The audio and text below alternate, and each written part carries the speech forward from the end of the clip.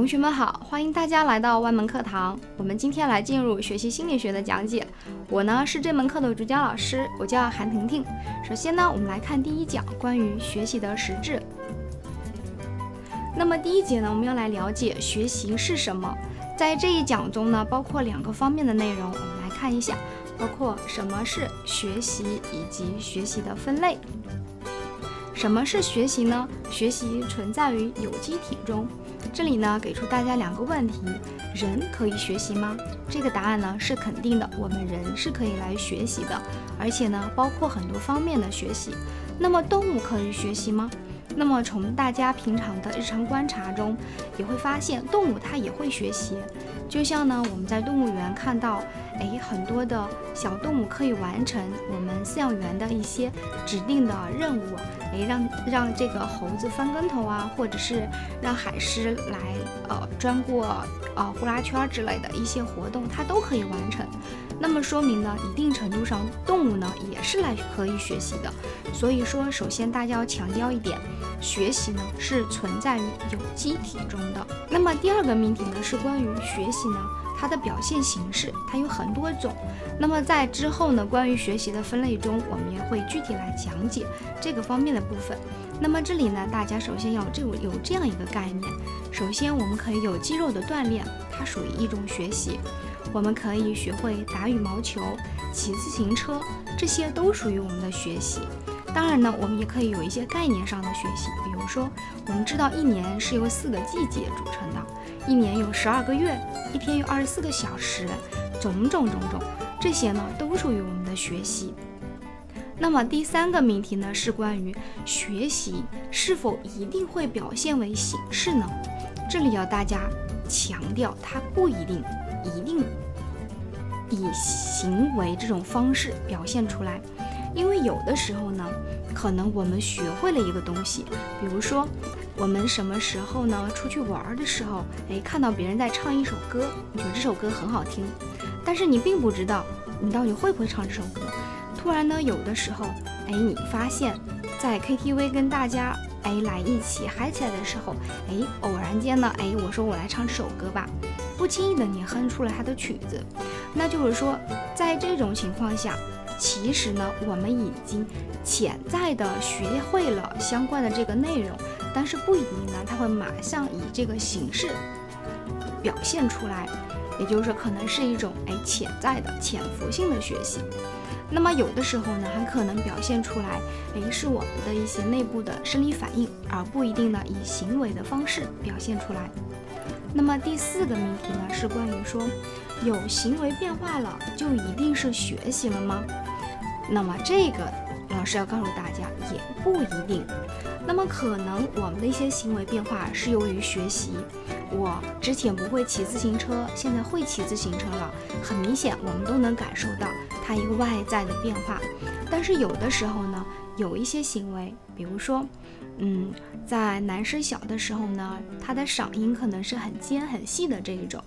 但是呢，到到了一定的时期，青春期的时候，哎，声音发生了一些变化，那么这个它也发生了变化，但是呢，我们不称之为是学习，也可能是由于哎，老师说讲到的成熟，甚至是由于疲劳，我觉得很困，所以现在表现出来的状态不一样引起的，但它呢不称之为学习。那么明白了这些方面呢，我们就能很好的来诠释了对于学习它的界定是什么样子。那么在明白什么是学习以后呢，哎，大家就会想要了解，那么老师学习可以分为哪些呢？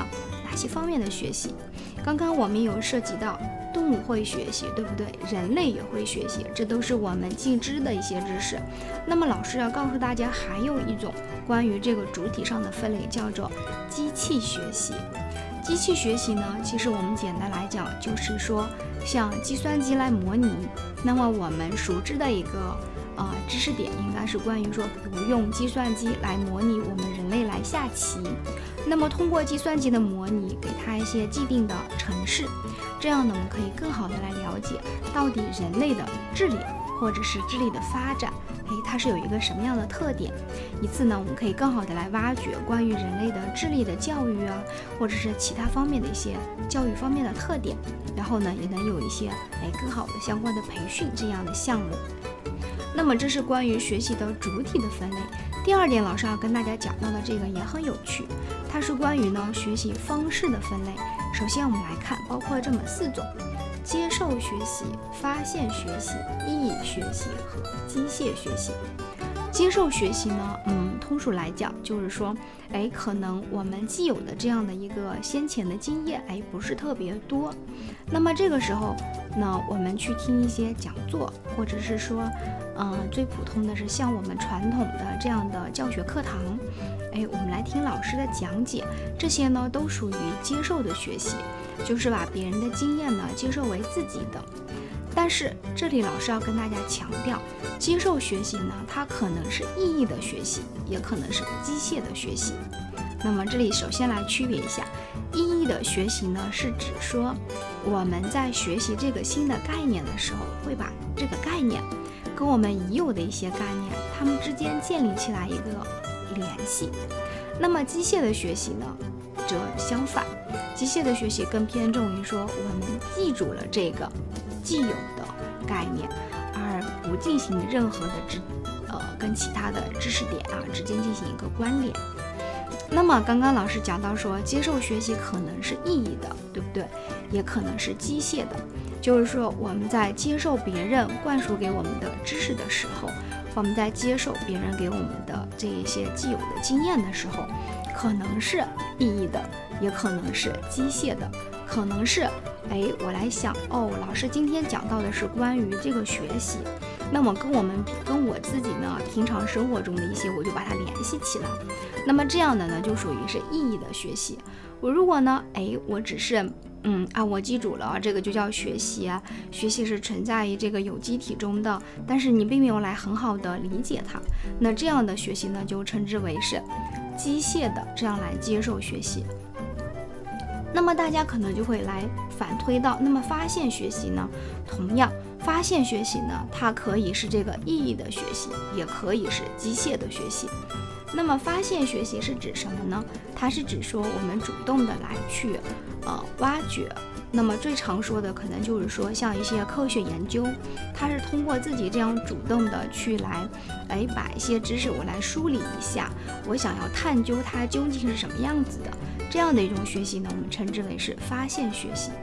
那么有意义的发现学习呢，也就是说，在这个过程中，也是我们刚刚提到的，会主动的来建立已有的知识和学到的这些知识，或者已有的经验和学到的经验之间它们的一个相互关系。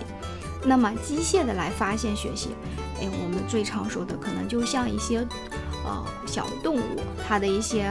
去尝试，然后来，嗯，看，哎，我想看看这个家里的这个小盒子里是不是有它可以吃的东西。它可能会一个可爱的小狗吧，我们比如说，它就不停的要去抓一下，来发现里面到底有没有东西。那么这样的体现出来的，则是说一个机械的发现学习。那么在嗯，这个大家学习了这个分类以后呢，也可也要很好的来区分一下这四种不同的，呃，对于方式上方式上面的分类，嗯，对大家来理解这个学习呢是更有帮助的。那么第三个分类呢，我们大家大家提到的是关于内容上面的分类，知识的学习呢，大家都好好理解，呃，我们各种相关的知识，复杂的一些。那关于问题解决或者是简单的一些，啊，像我们刚刚提到的，哎，包括几个季节啊，这一些，嗯，既有的概念方面的都算啊，知识的学习，技能的学习呢，我们的运动技能、写作技能啊，都属于我们技能的学习，大家也可以很好的理解。那么社会规范的学习呢，那么大家可能一般会想。哎，应该就是说我们一些，嗯，可以习得的。我们知道，在马路上不应该闯红灯，这是一个最简单的社会规范了。那么诸如此类的，来规范我们的行为，种种的这些内容的学习呢，我们都称之为是社会规范的学习。那么最后一个呢，老师还给大家提到的是关于学习的结果的分类。那么这里呢，大家看到了有五个部分，对不对？那么我们首先呢，要从语言信息来开始给大家讲解。那么我们最一般呢，学习到的一些啊简单的这个概念，都属于语言信息的学习。之后呢，嗯，在这个简单的概念的基础上，比如我学会了乘法口诀表。那么在这个基础上呢，我们更多的会运用到这个智力技能。智力技能呢，它就是指在这个简单的哎这个语言信息的基础上，然后呢，我们来进一步加工，嗯，用运用呢更加复杂的一些技呃这个智力的技能，然后来解决问题。那么这样的一个学习是称之为哎智力技能，掌握了一定的智力技能。那么大家可能会比较疑惑的是。这里提到的认知策略是指什么呢？那么这个呢，我们在呃之后的一些章节的讲解中呢，也会具体来呃阐述一下。简单这里呢，先跟大家提一下，就是说，嗯，比如说，哎呦，嗯，老师我在学习英语，然后呢，我发现，啊，这个时候，比如说。尤其是现在的季节，哎又特别热，然后到中午的时候我又特别犯困，那么这个时候我就想，我这一天要怎么规划我的学习呢？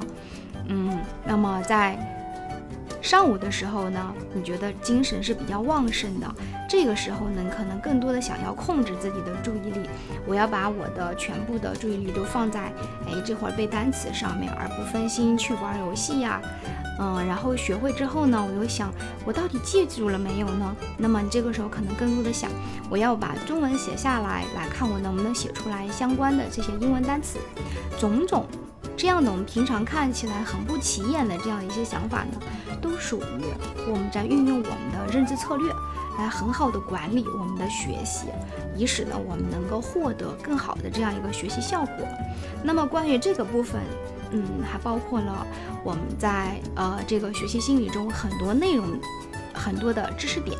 那么在之后呢，我们也会来一一的把它详细的来分解一下。那么运动技能应该是大家哎较好理解的一个概念了。嗯，那么态度呢，就是指我们。呃，学习了一些知识以后，我们知道怎么样去哎对待我们身边的朋友，我们如何去对待家人啊，甚至说我们本着一种哎，我们对这个国家、对社会的一种什么样的责任，种种之类的，都属于我们分为态度方面的一些学习。那么以上呢？这几种呢，都属于我们关于这个学习分类的部分。那么关于这个第一节的内容呢，我们就主要来讲解这一些。